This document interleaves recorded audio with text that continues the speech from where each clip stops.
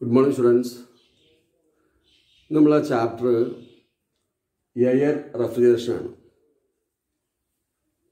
Air എന്താ refrigeration പല refrigeration രീതികൾ പറഞ്ഞിട്ടുണ്ട് നമ്മൾ അല്ലേ?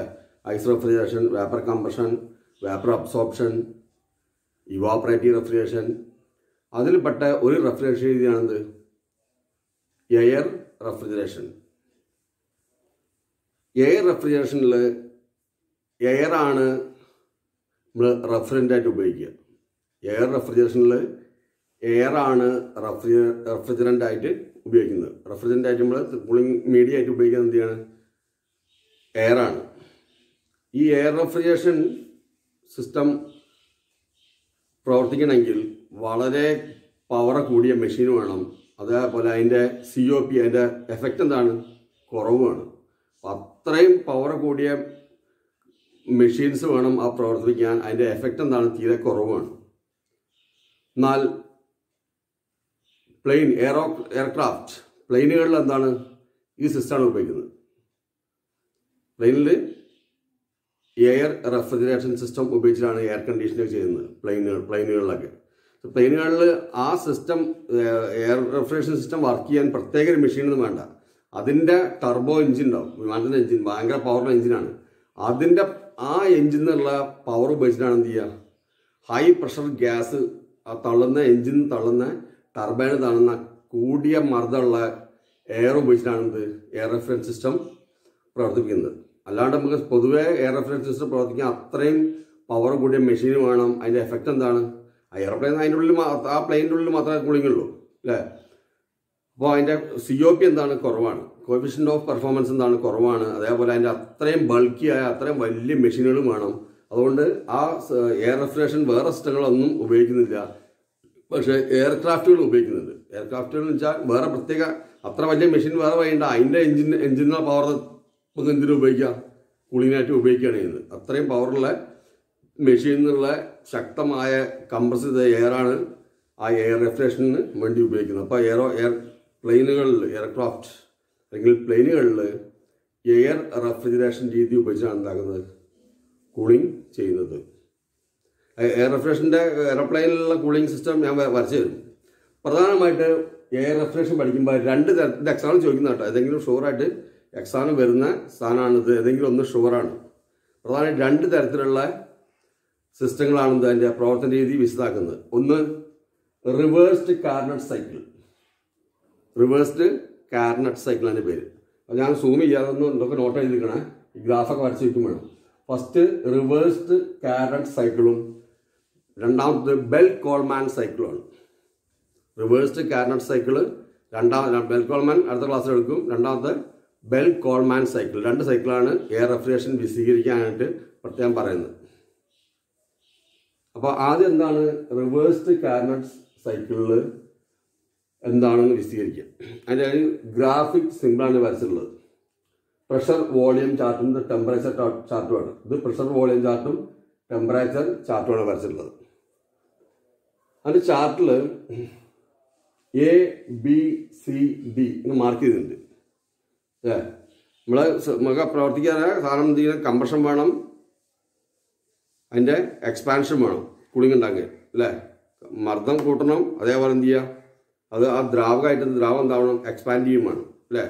അപ്പോൾ ഇതിൽ നമ്മൾ എന്ത് ചെയ്യുക? എയർ എക്സ്പാൻഷൻ എയർ ആണ് റെഫ്രിജറേറ്റ് ഉപയോഗിക്കുന്നത്. അപ്പോൾ അതിന്റെ ഏതൊക്കെ രീതികളാണ് ഏതൊക്കെ മോ മോഡ്യൂളിൽ എന്തൊക്കെ എക്സ്പാൻഷനാണ് വരുന്നതെന്നാണ് പറയാൻ പോകുന്നത്?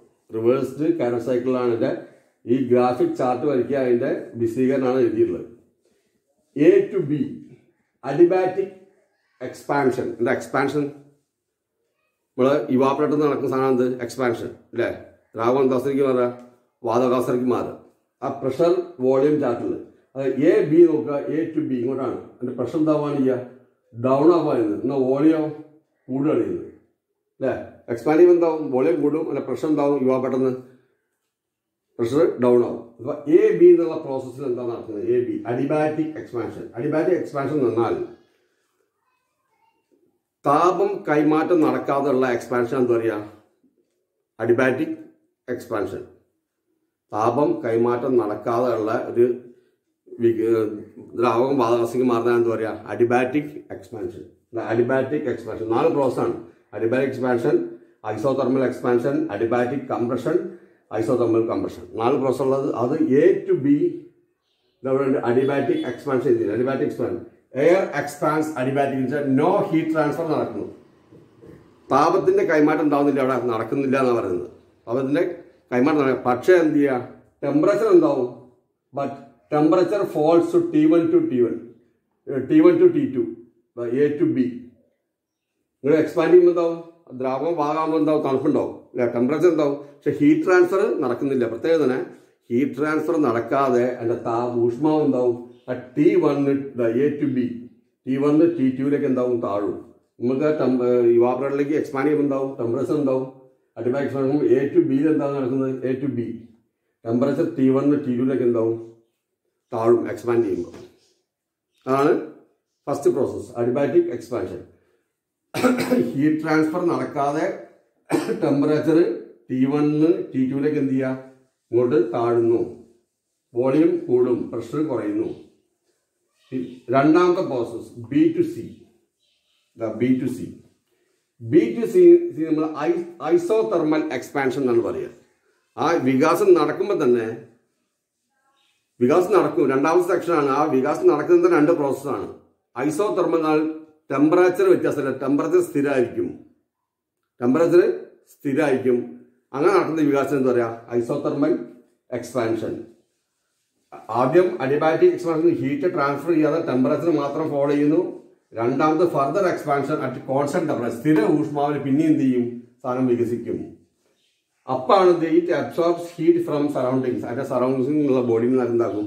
അപ്പാണ് ചൂടെന്താക്കുന്നത് വലിച്ചെടുക്കുന്നു. അങ്ങനെ അതിൽ പറയുന്നത്. ഈ ഈ റിവേഴ്സ് കാൻ സൈക്കിൾ ഐസോതെർമൽ എക്സ്പാൻഷനിലാണ് എന്ത് ചെയ്യുക? വസ്തുക്കൾ ചൂടെന്താക്കുന്നത് ആദ്യം ഫസ്റ്റ് അഡിബാറ്റിക് എക്സ്പാൻഷൻ സമയത്ത് താപ കൈമാറ്റം നടക്കുന്നില്ല. പക്ഷെ എന്റെ ഊഷ്മാവ് എന്താവും? ടെമ്പറേച്ചർ ടി വണ്ണ് ടി ടുവിലേക്ക് താഴും. രണ്ടാമത്തത് ഐസോ തെർമൽ എക്സ്പാൻഷനിൽ ടെമ്പറേച്ചറിൽ വ്യത്യാസം വരുന്നില്ല. ടെമ്പറേച്ചർ സ്ഥിരമാണ് ആ സമയത്ത് പുറത്തുനിന്നുള്ള വസ്തുക്കൾ ചൂടിനാക്കുണ്ടാക്കും അപ്പോഴാണ് ഹീറ്റ് ട്രാൻസ്ഫർ നടക്കുന്നത്. ചൂടിനെ രണ്ടാമത്തെ ഐസോ തെർമൽ എക്സ്പാൻഷനിൽ ടെമ്പറേച്ചർ കോൺസ്റ്റന്റ് ആണ് സ്ഥിരമാണ് പക്ഷെ എന്താവും? ഹീറ്റ് എന്താവും? സറൗണ്ട് എവിടെ ആ തണുപ്പിക്കേണ്ട വസ്തുക്കളൊക്കെ ചൂടിനെന്താക്കും ഇത് അബ്സോർബ് ചെയ്യും. ബി ടു സി എന്താ ബി ടു സി ഐസോ ആണ്. ടെമ്പറേച്ചർ സെയിം ആണ്. ടെമ്പറേച്ചർ വ്യത്യാസമൊന്നുമില്ല. ഇനി സി ടു ഡി ആണ് പറയാനുള്ളത് സി ടു ഡി ഇത് ഐസോതെർമൽ എക്സ്പാൻഷൻ ഇനി സി ടു ഡി ആണ്. അഡിബാറ്റിക് കംപ്രഷൻ ഹീറ്റ് ട്രാൻസ്ഫർ നടക്കാതുള്ള കംപ്രഷൻ കേട്ടോ ഇതൊരു ഊഹാപോഹ. ഇത് ഈ സിസ്റ്റം ഇതേപോലെ പ്രവർത്തിക്കാൻ പറ്റില്ല ശരിക്കും. ഹീറ്റ് ട്രാൻസ്ഫർ ചെയ്യാണ്ട് കംപ്രഷൻ നടക്കും ഒരിക്കലും. പക്ഷെ ഈ റിവേഴ്സ് കാർ സൈക്കിൾ അതാണ് പറഞ്ഞത്. സി ടു ഡി നിൽക്കുക adiabatic compression air compresses adiabatically no heat transfer അപ്പോൾ ഹീറ്റ് ട്രാൻസ്ഫർ നടക്കുന്നില്ല. എന്നാ എന്താവും? ടെമ്പറേച്ചർ എന്താവും? കംപ്രസ് ചെയ്യുമ്പോൾ ടെമ്പറേച്ചർ ഉയരും. But temperature rises T two to T one temperature എന്തായി? ടി ടു സി ഡി ആണ്. C to to T one Adimali compression നടക്കുമ്പോൾ ടെമ്പറേച്ചർ ഉയരും. പക്ഷേ ഊഷ്മ താപം എന്താവുന്നില്ല. താപ താപ കൈമാറ്റം നടക്കുന്നില്ല. മൂന്നാമത്തത് D A D A isothermal compression isothermal compression further compression takes place at constant സ്ഥിര ഊഷ്മാവിൽ ഉണ്ടാക്കുക കമ്പഷൻ നടക്കുക. ടെമ്പറേച്ചർ സ്ഥിരമായിരിക്കും പക്ഷെ ഹീറ്റ് എന്താവും? അടുത്ത കൂളിംഗ് മീഡിയയിലേക്ക് എന്താക്കും റിജക്റ്റ് ചെയ്യും. കൂളിംഗ് മീഡിയയിലേക്ക് ചൂടെന്താക്കും ഒഴിവാക്കും. ഈ പ്രോസസ്സിന് എന്താ പറയുക? ഇത് ഇതേപോലെ തന്നെ എഴുതിക്കോട്ടെ എ ബി ബി സി ഇതേപോലെ തന്നെ എഴുതിക്കോളുക. ഈ ചാർട്ടും വരയ്ക്കുക. എന്താ A to B adiabatic expansion B to C isothermal expansion C to D adiabatic compression D to A isothermal compression അതേപോലെ ഗ്രാഫും വയ്ക്കുക T one to T two B A B C D ഇതിൽ എയും ബിയും ആകുമ്പോൾ temperature T one to T ടുവിലേക്ക് എന്താവും? താഴും. പക്ഷേ ഹീറ്റ് എന്താകുന്നില്ല താപം കൈമാറ്റം നടക്കുന്നില്ല. പക്ഷെ ബി ടു സി നോക്കുക. ഊഷ്മാവ് സ്ഥിരമാണ്. ഇപ്പോൾ ആണ് താപം കൈമാറ്റം നടക്കുന്നത്. ഐസോതെർമൽ എക്സ്പാൻഷനിൽ ബി ടു സിയിൽ എന്ത് ചെയ്യുക ഊഷ്മാവ് സ്ഥിരമായിരിക്കും. അപ്പോൾ അപ്പാണ് താപ കൈമാറ്റം നടക്കുന്നത്. ഇനി സി ടു ഡി എന്നാണ് അഡിബാറ്റിക് കംപ്രഷൻ താപ കൈമാറ്റം നടക്കാണ്ട് ഉള്ള കംപ്രഷൻ പക്ഷെ ടെമ്പറേച്ചർ എന്താവും? ടി ടു ടി ടു നിന്ന് ടി വണ്ണിലേക്ക് എന്താവും? ഉയരും. പിന്നെ ഡി ടു ഡി എ ആണെന്ത്? ഐസോ തെർമൽ കംപ്രഷൻ ഊഷ്മാവ് സ്ഥിരമായിരിക്കും. അപ്പാണ് താപം താകുന്നത് പുറത്തേക്ക് തള്ളുന്നത്. ഇതിന്റെ റിവേഴ്സ് കാൺ സൈക്കിളിന്റെ കോഫിഷ്യന്റെ performance heat absorbed by heat received അതിന്റെ സൂത്രവാക്യം സൂത്രവാക്യാണെന്ത് T two by T one minus T two അപ്പൊ ഇത് ഇതേപോലെ എഴുതി വെച്ചോളാം അപ്പൊ എയർ റെഫ്രിജറേഷൻ മെയിൻ രണ്ട് തരത്തിലാണ് വിശദീകരിക്കുന്നത്. ഒന്ന് റിവേഴ്സ്ഡ് കാരറ്റ് സൈക്കിളാണ് അതിന്റെ പ്രോസസ്സാണ് ഈ പറഞ്ഞിട്ടുള്ളത്. ഗ്രാഫ് വരയ്ക്കുക ഇത് വരയ്ക്കുക ഇത് എഴുതി വയ്ക്കുക ഓക്കെ ഞാൻ സൂം ചെയ്യുക നമ്മൾ എഴുതി വെച്ചോളൂ ഓക്കെ അടുത്തത് ബെൽ കോൾമാൻ സൈക്കിളാണ് അടുത്ത ക്ലാസ് എടുക്കുന്നത്. കേട്ടോ ബെൽ കോൾമാൻ സൈക്കിൾ ഇത് റിവേഴ്സ്ഡ് കറണ്ട് സൈക്കിൾ വിശദീകരിക്കാൻ പറഞ്ഞാൽ ഇതേപോലെ തന്നെ എഴുതുക. പ്രോസസ്സ് എന്തൊക്കെയാണെന്ന് എഴുതുക. ഓരോ എ ടു ബി എന്ന് നടക്കുന്നു ബി ടു സി എന്ന് നടക്കുന്നു C to D D A എന്ത് നടക്കുന്നു? ഈ ടെമ്പറേച്ചർ ചാർട്ടും വരച്ച് വയ്ക്കുക ആണെങ്കിൽ ഈ ഇക്വേഷൻ എഴുതിച്ചുക ഓക്കെ താങ്ക് യു ഒന്ന് സൂം ചെയ്യുക നിങ്ങളത് എഴുതിച്ചോളൂ കേട്ടോ